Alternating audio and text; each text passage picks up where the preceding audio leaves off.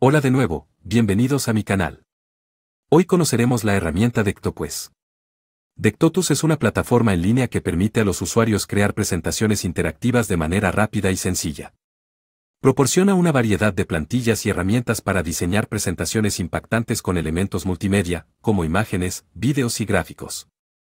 Además, Dectotus permite a los usuarios colaborar en tiempo real, compartir y presentar sus creaciones de forma remota. Es una herramienta útil para profesionales, educadores y cualquier persona que necesite realizar presentaciones visualmente atractivas y efectivas. Entonces iniciemos. Bueno, en este momento ya nos encontramos en la interfaz de Dectopus y vamos a loguearnos para poder ingresar. Entonces en este momento hay algo aquí que me llama la atención antes de irnos y es que me dice que es la número uno, el generador número uno en presentaciones de inteligencia artificial en el mundo. Vamos a ver qué tal es con esa expectativa que ya llevamos. Vamos a loguearnos. Y aquí puedo hacerlo de dos maneras. Uno, vinculándome con mi cuenta de Gmail. Dos, registrándome. Voy a vincularme con mi cuenta de Gmail. Y aquí ya me aparece la siguiente manera. Entonces encontramos que hacer la presentación desde el inicio, utilizando unos templates o con inteligencia artificial. Yo le voy a decir que me voy con inteligencia artificial. Y aquí me aparece esto. ¿Cuál es el título? Vamos a pasarlo a español para que lo puedan ver mejor. ¿De qué trata su presentación? O sea, el título que le vamos a colocar a nuestra presentación. Mi presentación se va a llamar Avances de la Inteligencia Artificial. Y evolución de la inteligencia artificial.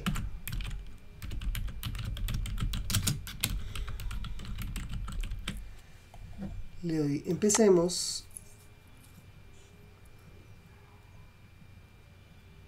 En este momento me ofrece eh, cinco tipos de audiencia que voy a tener. Entonces, ¿para quién va dirigida mi presentación?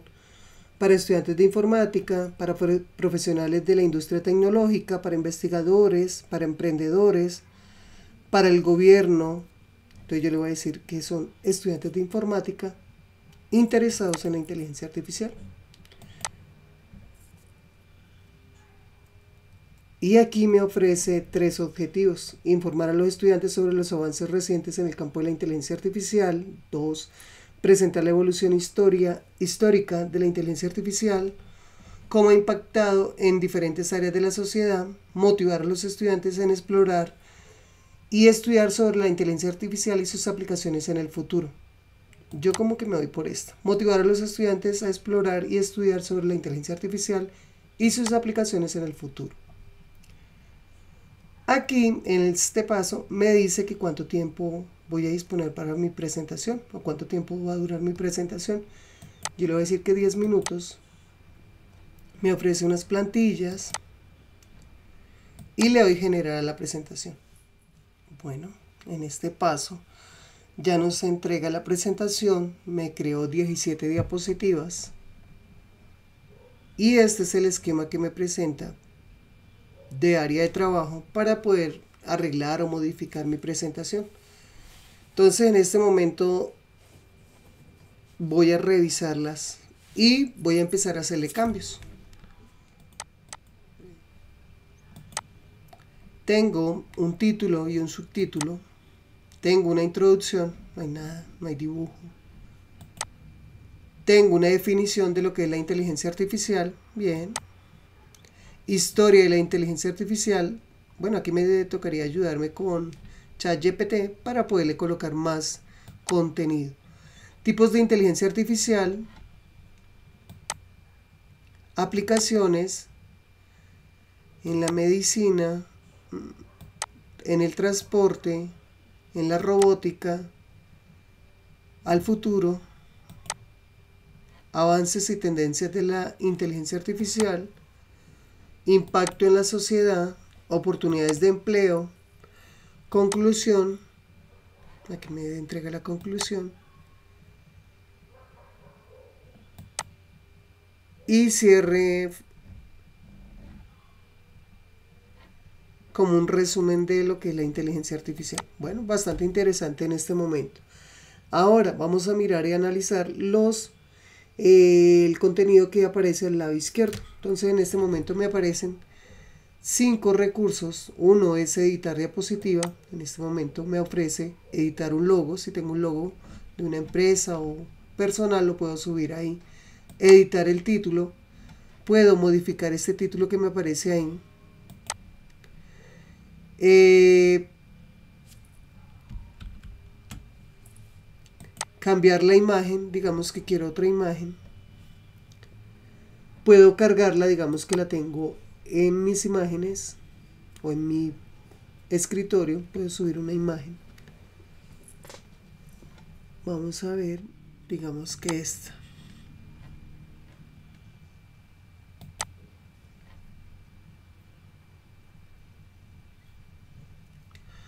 Aquí empieza a subir la imagen. Y aquí ya la tengo.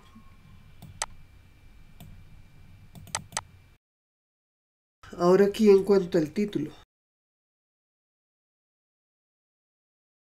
Opciones de texto, me dice que puedo colocarlo, alinearlo a la izquierda, en el centro o alinearlo a la derecha.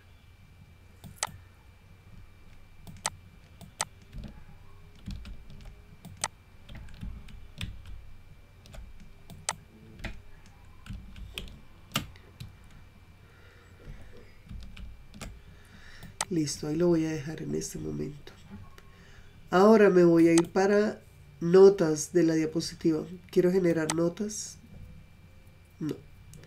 Diseño, de pronto cambiar los colores.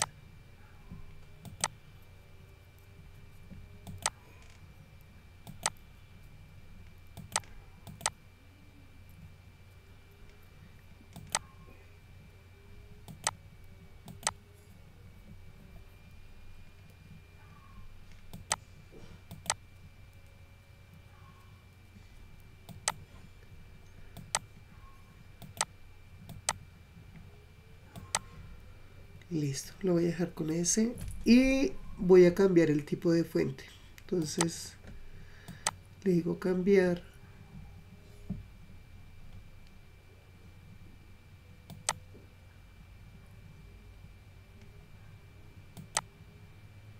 Este como que me gusta más, esta.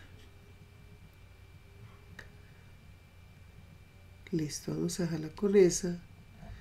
Y el diseño. Vamos a buscar otro tipo de diseño.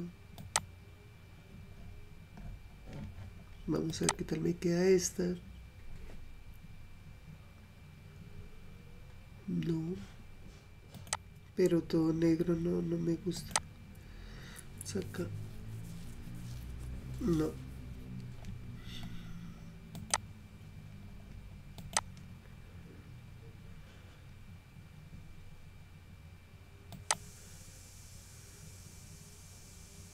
Esta sí, mejor. Me gusta más. Y ahora sí puedo ya cambiar los colores para que no se vea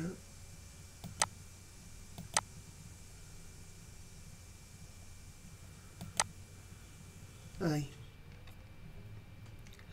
Y acá me dice que puedo crear con inteligencia artificial, de pronto sacar imágenes, añadir otra diapositiva y acá me da la opción de referir personas, colocar el correo para invitar y me van dando 30 créditos. En este momento no he invitado a nadie porque hasta ahorita la habilité.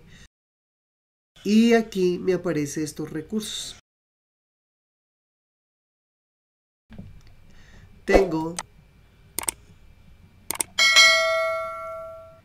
en este momento mis creaciones, la administración los ajustes, el equipo, las suscripciones, los códigos, política de privacidad y acá tengo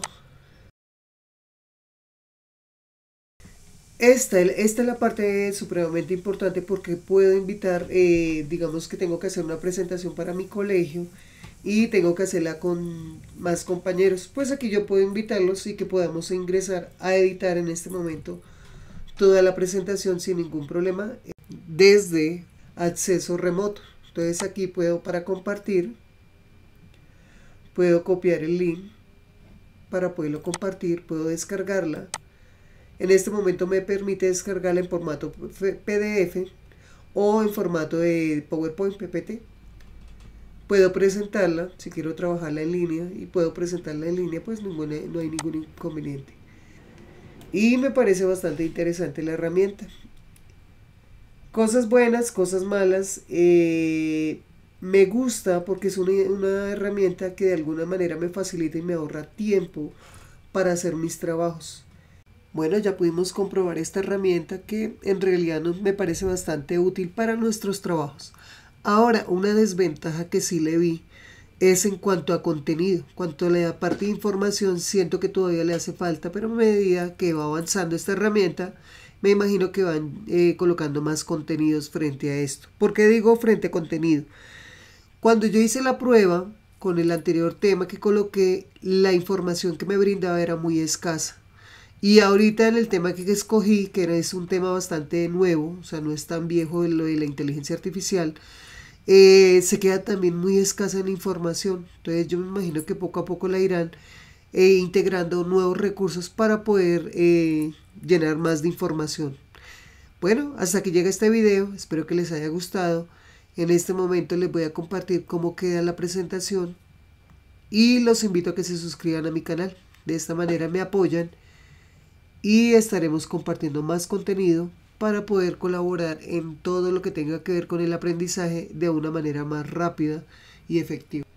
La presentación quedaría de esta manera. Me voy a gastar tiempo de, de la presentación 15 minutos. El título Avances y Evolución de la Inteligencia Artificial. Motivar a los estudiantes a explorar y estudiar todo sobre la inteligencia artificial y sus aplicaciones en el futuro.